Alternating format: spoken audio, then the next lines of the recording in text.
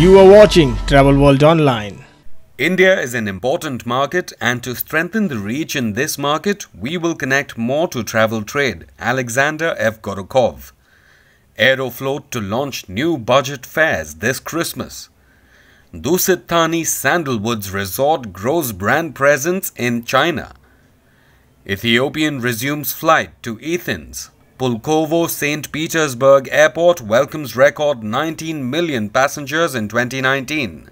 Alexander F. Gorokhov, CEO, visit Russia, Association Union of National and International Tourist Information Organizations, said that uh, we will be present on your market for sure. Okay. So uh, exhibitions like SATTE, uh, exhi- yeah, OTM. So uh, we will do uh, farm trips, uh, press tours.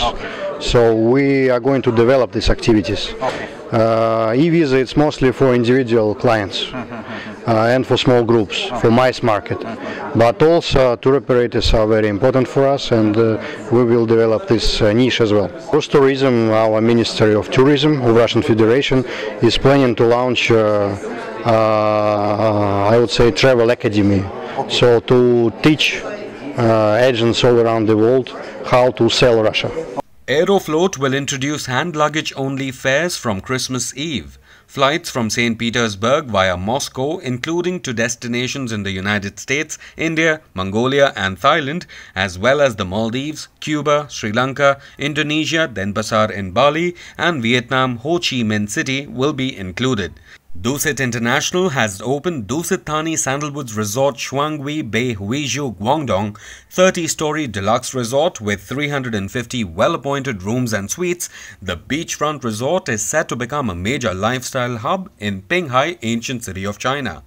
It features seven different restaurants, a large ballroom, eight multifunction meeting rooms, a fully equipped gym, an archery range, a cinema, and other recreational facilities. Ethiopian resumes the service to the city of Athens after 18 years. This thrice weekly flight to Athens is operated by the ultra-modern B787 Dreamliner. Athens marks Ethiopian's 20th destination in Europe.